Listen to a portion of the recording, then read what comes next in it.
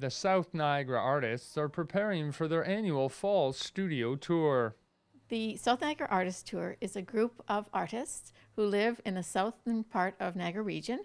So Wainfleet, Port Colborne, Ridgeway, Fort Erie, Stevensville, Crystal Beach, who get together twice a year in the summer and the fall and present their studios to the community.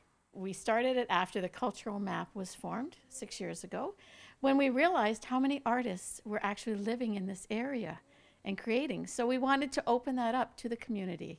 This year's fall tour will see over 25 artists take part. Some uh, locations have more studio space than others, and we open up our studios to guest and visiting artists.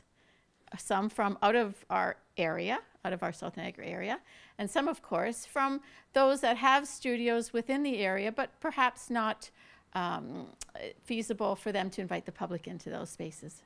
One of this year's artists taking part will be Michelle Morsey. First year probably had about 40 visitors over the weekend in the summer tour, which I thought was excellent. Um, shared my studio space with some other fellow artists, which was really nice to have that collegial uh, artist group here.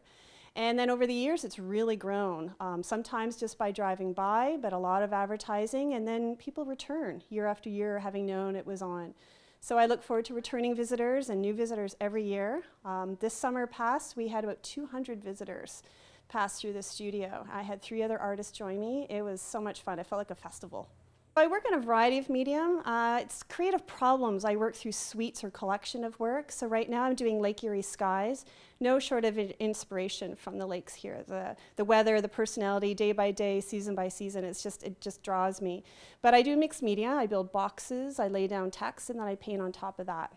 Michelle will be sharing her studio with two other artists. I'm going to have two artists join me this year uh, for the fall tour. Barbara Jean Lovell, who's a Niagara Falls artist, a painter. Her work is beautiful. Um, certainly worth coming out to see some of her new work. And another local artist from Ridgeway, her name's Valerie Penniman.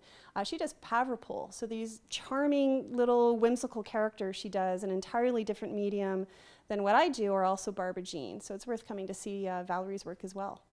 We have a website, www.southniagaraartists.ca and uh, they can have a look at the website. They can download the maps, brochures, and as well, there are links to all the artists who are participating so they can see the work of everybody and plan maybe their route.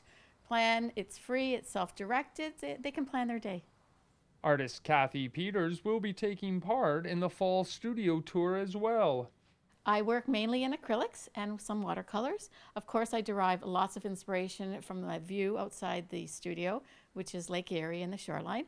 But I also really enjoy abstracts and doing them in many ways, shapes, and forms. I'm very pleased to have Pat Paquin attend at my studio, and she does beautiful ceramic pottery and whimsical paintings. So it's a very nice um, complementary to each other. In Niagara, you're watching The Source.